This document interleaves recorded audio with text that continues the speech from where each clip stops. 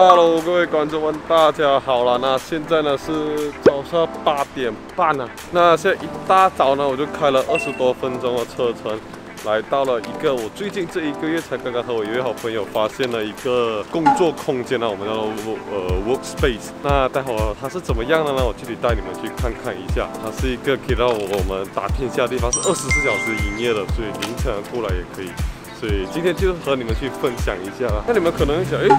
我们八点半那么大早就到了，不用健身了吗？早上，因为看看我的手，我在打拳的时候扭伤了我的手腕，所以只能够没有办法，必须让我休息一两周啊。所以我已经超过一周的时间没有健身打拳了，现在差不多康复了，可能还要多好几天的时间，所以没办法，只能心疼啊，不能运动了。所以我们一起去看看一下我最近一直来的 workspace 是长怎么样了。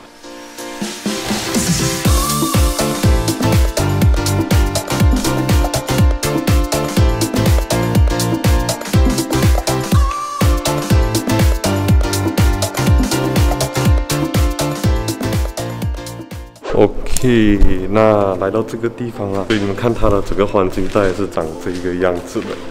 嗯现在已经有一个人在那边了，他那边有一个蛮大的一个很长的桌子的会议室，还有一个大的荧幕可以给你们做 PPT 呈现的啊。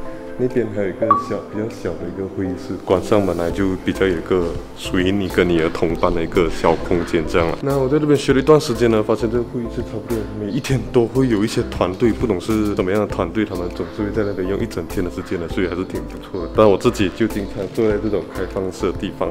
我来到这边呢，我第一步呢，就会先来用它的咖啡机泡一杯咖啡啊。那你们可以看它这里的，它这东西全部都可以用啊，对。所以这边弄一个，这一个咖啡，其他的零食，还有巧克力这样的。冰箱还有雪碧，哦，还有可乐，但可乐没了。然后这边还有个饮水机，还有好多杯子，然后还有一些茶之类的。那这里的东西呢，全都是可以用的啦。那它这边还有一个给我们吃饭的。桌子，那有时候我也会煮好我的鸡胸肉带来之后呢，然后就来这边吃我的午餐，所以还是个挺不错一个空间来的这边。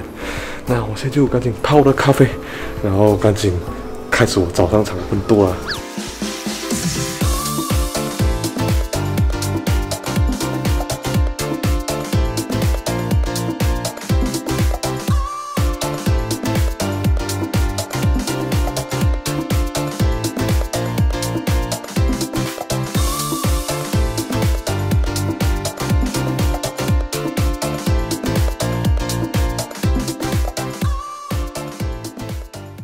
OK，那现在是十一点五十四分了，差不多十二点了呢。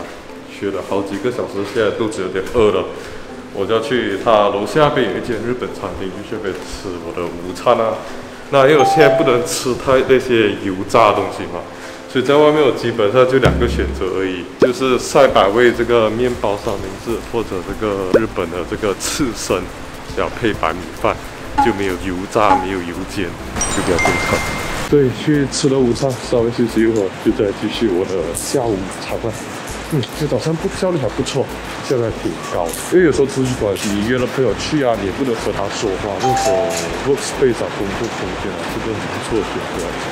那现在最近，我们在我们马来西亚这边也蛮流行的，不知道中国国内的情况怎么样？那各位如果感兴趣的话，你们也可以去搜搜一下你们家附近有没有类似这样的一个工作空间。那你们可以参考一下收费标准啊。那我这边的收费标准是一个月的会员，那你二十四小时开放啊，你凌晨要过来都可以。一个月的费用呢是四百马币啦，所以各位可以做个参考一下。所以再去吃我的午餐啊，然后下午再继续奋斗。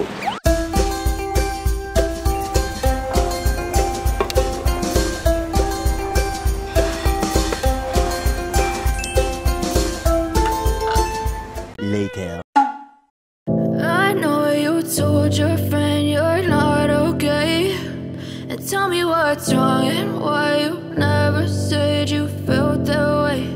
And guess you're trying to stay strong and fake a smile until I look away. But I've known you too long, it hurts to watch your blue eyes fade to gray as you fade away.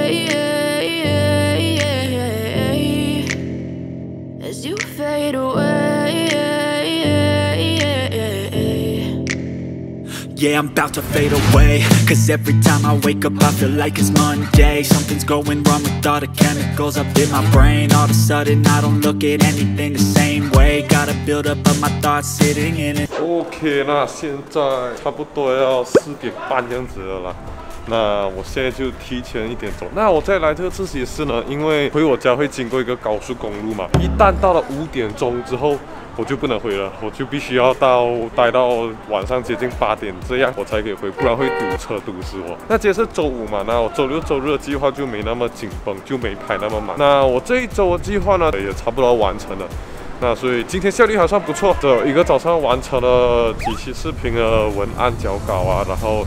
也复习了要复习的那一小节，然后也上了一些这个哈佛的课，那所以完成的东西还挺多的了。今天就提早回家休息啦，只可惜不能运动。哦，这个好像说漏了，我这边的收费呢？那你加入了会员之后呢，你是可以带两位朋友过来的。那换句话说就是呢，三个人用四百块这一个月了。我是和我朋友他弟弟就我们平分到来，其实一个人一个月也就一百三十三马币。而且刚刚我忘了说这个那么重要的信息，所以。它的收费标准大概是这样了。那这期视频呢，主要就是说想和各位分享一下这样一个小小的 workspace 是长怎么样。因为我之前就有听说过有这样的 workspace，但之前一直也没有人拍过这类的视频去测试那个感觉，然后我也看不出在那边奋斗的感觉是怎么样的。那不知道各位看到这期视频之后，有没有想要来这些这些地方打天下呢？